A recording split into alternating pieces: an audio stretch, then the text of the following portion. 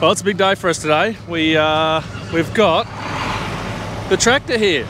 So uh, the boys were actually uh, nice and early this morning. They even beat me to work, so I couldn't film it driving in, but here we go. We get to film it coming off. But uh, yeah, so today we're to, um, yeah, we've got Ash coming out, the salesman. He's to drive us, well, walk us through everything on this and we'll, uh, yeah, get our knowledge up on the tractor.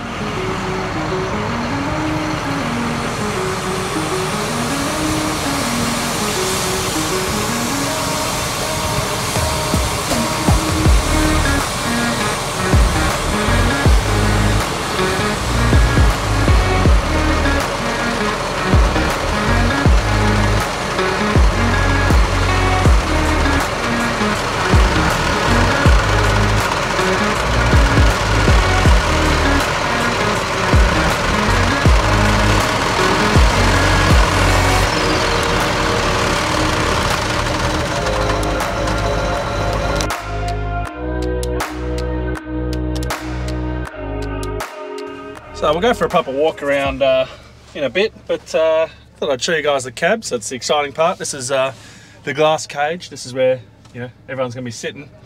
So we've got their uh, whatever they call their screen. So that's the the case screen that controls everything on the tractor. And then we've got our, uh, our John Deere screen. So obviously that's for steering. And then this one down here is our X35. And that one there is for the air seeder. So that controls the Bourgault. So yeah, we've got a few screens in here, but I think it's actually better viewing out there than what it was with Art. If you guys remember, Art had the uh, X35 up here, and it was just, uh, yeah, she was, she was quite, uh, what's the word, cluttered. So you couldn't really see out that window, which is, uh, it's quite nice that you can on this. Um, and I reckon this, uh, this has its side pillar further across, so you can actually see um, more than what you would with Art. But uh, yeah, no, we'll uh, get it started up, go for a drive, uh, go for a walk around, find out where all the grease points are, services, things like that, and uh, yeah, should be uh, should be bloody good. Rightio, so we'll go around it. So uh, obviously the reason we went for a, uh, a Rowtrac is so it could get out to three metre centres. Uh, I'll talk about that a bit later on. I know there's questions people keep asking why are we on three metres and what's controlled traffic. Uh, so the things that have been changed, these tracks are different to what the normal tracks are. So these are a, uh, a Soucy track, I believe. Yeah, these are Soucys. So they're uh, they're a more aggressive track and they uh, last longer than the Case's standard track. Um, the well, what what is nice? This is what they they always do, but you've got your your clear oils so I got the clear caps for your for your oils on your on your tracks there, which makes it very easy to uh, see if you need to top it up or not. Um, Art never had that, and yeah, you're sort of guessing on what colour the oil was, and here you can see it, and it's easy. You're like, yep, we need to change that. Um, but yeah, walking around, she's nice and shiny and new. Um, I'm already seeing a few grease nipples, a few grease points that uh, we're going to have to uh, grease. Um, you may wonder why we went for a, a, uh, a quad instead of back to a two track. And the reason is that the two tracks just scuff. They just scuff so badly in the paddock that, uh, yeah, it just, especially when we use this for chaser bin driving as well, uh, around going, turning that close to headers and everything like that. You just end up with big berms where the big two track turns. Um, so yeah, and then of course the big question, why is it red not green? Uh, purely price. The, these guys were much better priced. So we, uh, yeah, we went for case and uh, the tractor's only got a pull. So I think it should do, a, should do the job. Um, but as you go around the back, she's just pretty standard, just a normal normal tractor. Six points for your hydraulics. Uh, you've got all your standard um, isobus connectors and everything like that. Uh, that there is for our seeder and yeah we'll uh, have to adjust all the lights because all the lights are pointing just straight out so they obviously need to be pointing back um, at least uh, at least the filter is easy to get to just like what's on um, on the uh, what's it called on the ute and actually what I do like Henry is uh, when you lift the bonnet. What? It's light. But I mean, it's still a bit heavy, but it's nothing like what Well, John Deere is. Never be able to get the John Deere's up with one hand. No. Although I did see the new 800 horsepowers, it's like that. It's Well, it'd have to be. they're It's very like- easy to lift there. There's like a half ton bonnet on that thing. I got under you. Oh, it folds down. Yep. Oh, look at that. Oh, that's going to be amazing for blowing out. Holy crap. if it gets hot enough, you can cook your eggs on there. Yeah. Wow, that's that's impressive. I didn't realise it came that far down. So that's going to make uh, harvest blowouts a lot, a lot nicer. Uh, for anyone who's interested in looking at uh, engines, there you go. Just your standard case engine, 500 horsepower. Uh, yeah. Here's the. Uh, On this side. it's on that side. Ah, yep.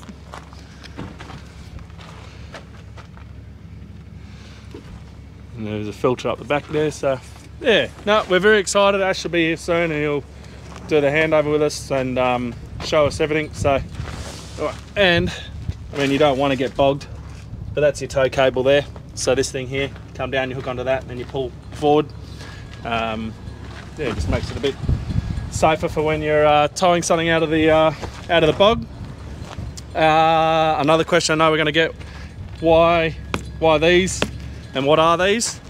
So they are what we call stubble mats. They basically knock the stubble over in front. So our stubble's normally about this high. Knocks it over, and it just it just gives the uh, the tires, or in this case the tracks, a longer life.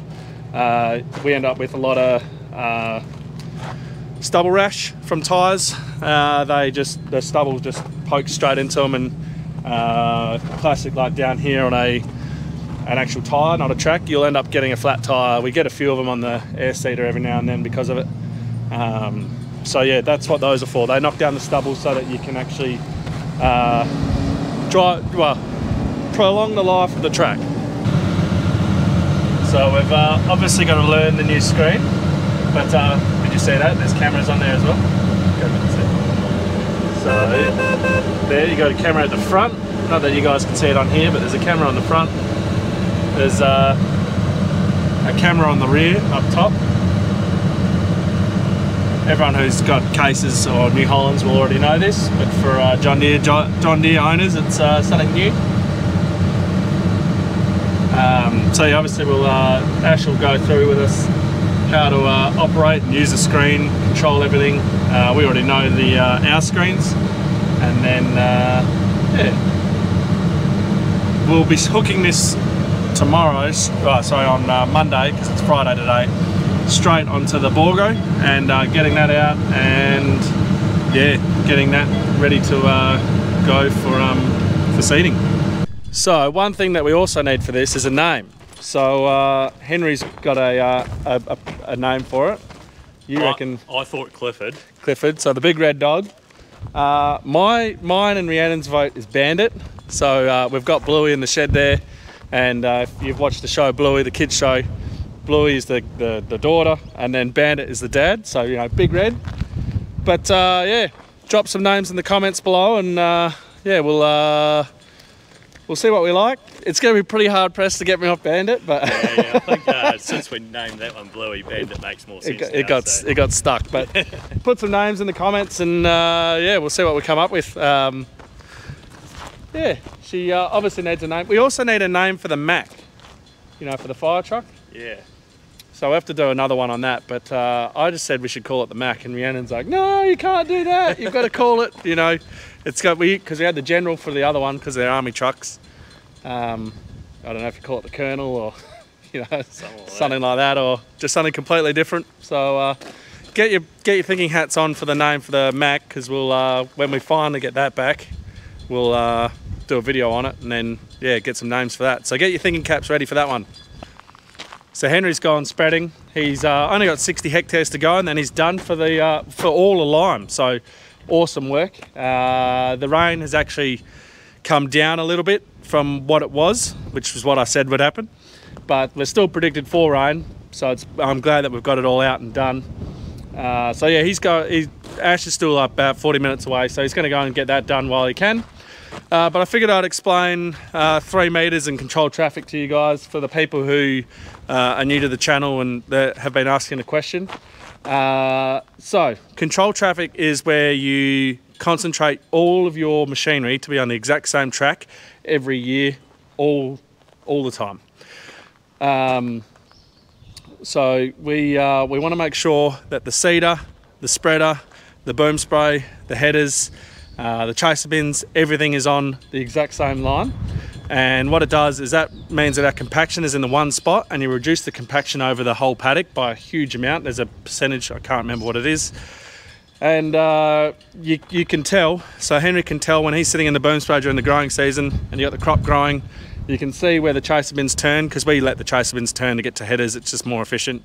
Uh, and also the canola, we set our canola on the angles so you can see the caster wheels from the from the from the bin and the bar um, you can see a physical uh, drop in the in the crop. So it is amazing how quickly compaction can affect a crop, especially in our you know our dry environment. So that's why we we like to go control traffic. So now why do we go three meters? Uh, that is because all of your machinery comes on different widths. You've got you know 2 meters 2.4 2.6 2.8 some actually does come on 3 meters and you want to choose a generic width that all your machines are going to run on. Uh, now it's obviously easier to go wider than what it is to go narrow. Uh, if you chose like a 2.2 meter tram, you're not going to be able to get your header into 2.2.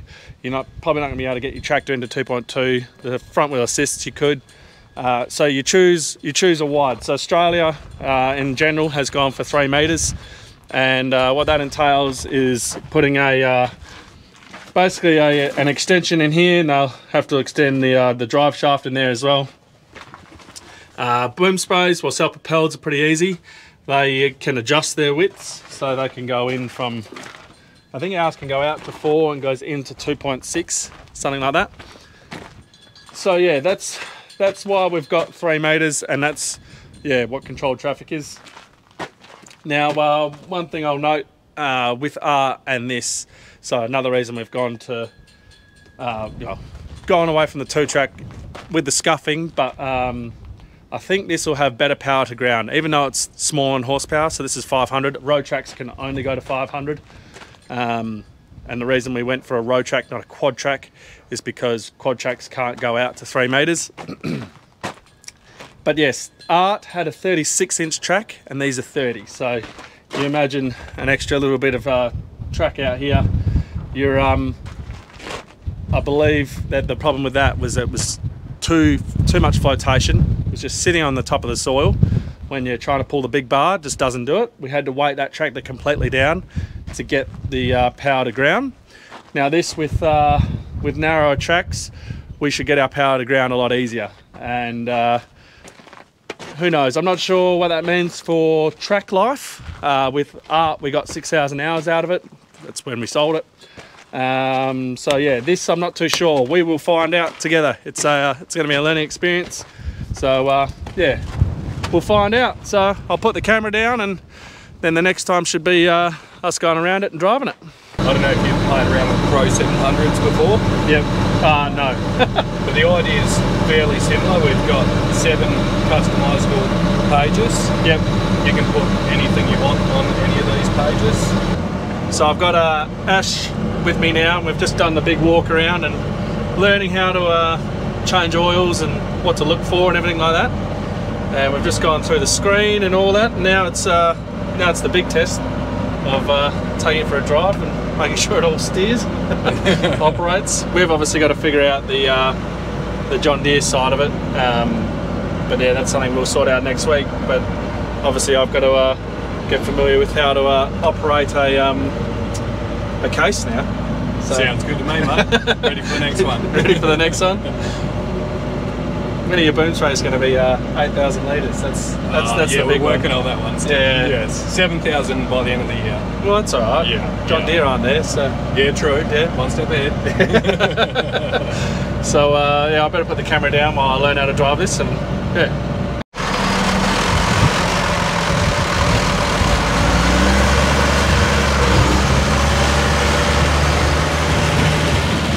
There she goes, the big Rowtrac. Um, very comfortable to drive, very smooth on the road.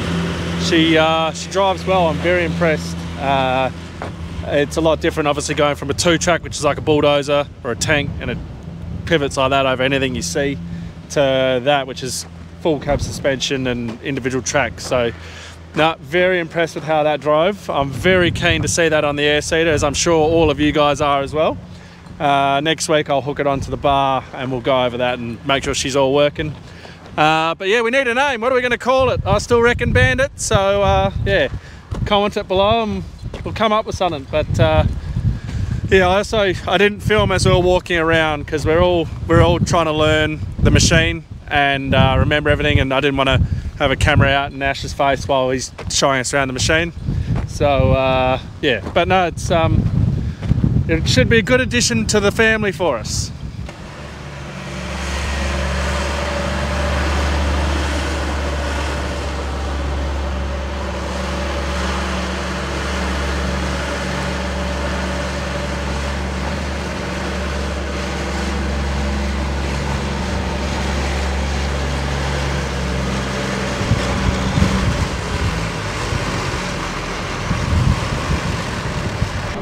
Got her in the shed, gonna park her away for the weekend. Um, you can actually see the screen now that we're not out in the daylight, so obviously I've got to learn all this. Uh, we've got to set all our um, our uh, functions, and uh, yeah, it all seems pretty straightforward. It's pretty cool. We've got cameras on there, so that's the uh, front-facing camera, and there should be a rear face. I don't know. There's a rear-facing camera. So I mean that's pretty cool. Uh, apparently that's a European spec. They like to have this all recorded. They put it to a hard drive for uh, all their highway driving and stuff like that. So yeah, no, she's uh, she's going to be good for us, and uh, yeah, I look forward to seeing how she goes for seeding. So we're very excited for it. Um, should be good. So uh, we'll leave the video there, everyone, and uh, don't forget to comment below a name for it. But uh, you're going to be pretty hard pressed to get me off Bandit, I reckon. But uh, there she is, ready for seeding. So uh, I'll catch you in the next one.